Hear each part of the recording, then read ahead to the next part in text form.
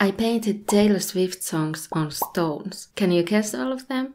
Let's go. It's me. Hi. Okay, it's not currently the weather for finding stones here, but I got these last summer. I started by washing the stones clean with water and a sponge and let them dry off before painting. You could try chalk for sketching on dark stones, but I thought I'd test a white colored pencil first. This one was in the packet with the erasable colored pencils, but turns out it's actually a watercolor pencil. It worked surprisingly well. To make sure the white lines I painted would show up better, I used white gesso instead of white acrylic paint. But just opaque acrylic paint should work too. You might be wondering what I'm painting on this rock, and I'm actually drawing stars around its scars, and now they're bleeding. Oops. Let's do a bit of yellow and some extra stars. I probably wouldn't say this was my favorite, but let's move on.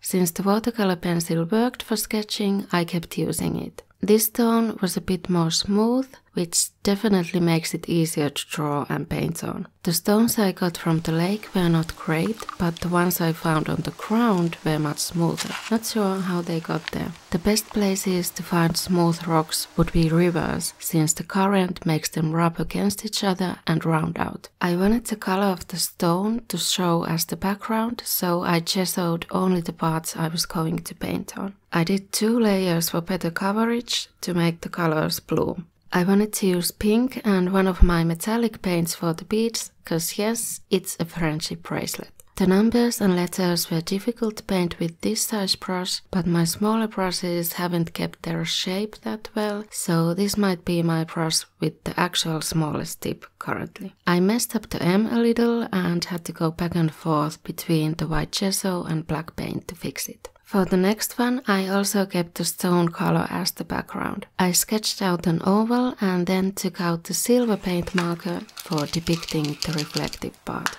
I did a white rim and a decorative border with white gesso. I thought it needed some contrast and definition, so I added a black edge between the mirror and the border and did some lines to show its reflective surface and painted gold metallic paint over the border to make it an antique looking mirror. Since it's more of a decorative piece, cause we'd rather stare directly at the sun than actually look in the mirror. And I added some gold sparkles to make the background bejeweled. Again, I laid the groundwork with gesso twice and I used the black colored pencil for sketching. Then I painted over it with black paint. I figured the black would not show up from the dark stone, so I wanted a more contrasting background color for this design of a domino that could be one of many to cascade in a line. I think there's something off with the combination of the number of spots on this one though. This next one is a mistake. I tried doing a black design on a dark stone without painting the background. I just went straight in with the white colored pencil and gessoed only the one little part and then painted black around it. I only used gesso for the middle light to make it look brighter than the two others. I took the long way home that day and asked the traffic lights if it will be alright and they said I don't know. So after painting the yellow light on and the red and green off, I decided to give it a white border to not have it blend into the dark stone too much and a little bit of brighter paint for the red and green lights to make them look like they're still flickering here. For this next one, I started by painting a black sky, no gesso for the background, and once it dried, I mixed these green and turquoise paints with the white gesso to lighten them up a bit, but still make them opaque. I drew narrow lines with the round brush and then started brushing upwards from the lines with a flat brush that's more dry, so it kind of blends into the black sky, kind of like what you might see on a screen when you search Aurora Borealis green. And then I added stars by the bucketful and a lighter rim for the northern lights. I only had small stones left at this point, so the rest of these are just getting harder and harder. Well, I had bigger rough stones, but I didn't want to use them. I thought this one might work with the stone color as the background, but spoiler alert, it didn't. So I started with the white colored pencil sketch and painted the wings with orange. I painted the pattern with black and white and since this was such a small painting and my brush was too big, I had to go back and forth between them to make it look clean. At the end I had to cover up any trace of the stone cause the butterfly just wouldn't show up otherwise. And you might wonder what's underneath it. Well, it's the butterfly turning to dust. Last summer I was gathering the stones for this painting not knowing what they'd mean. Some to throw away, I'm looking at the butterfly one.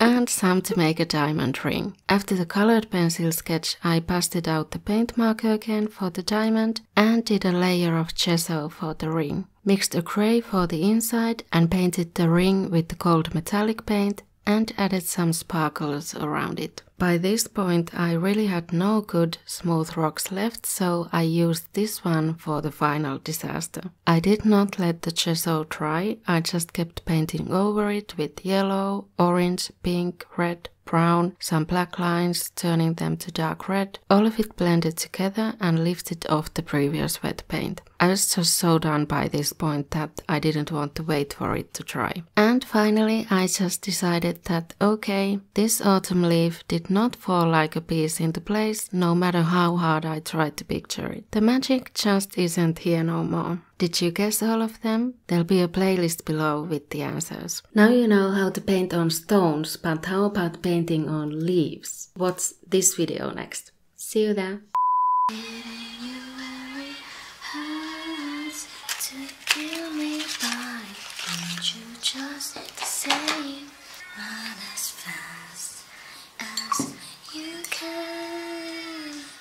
Time to go. You just go.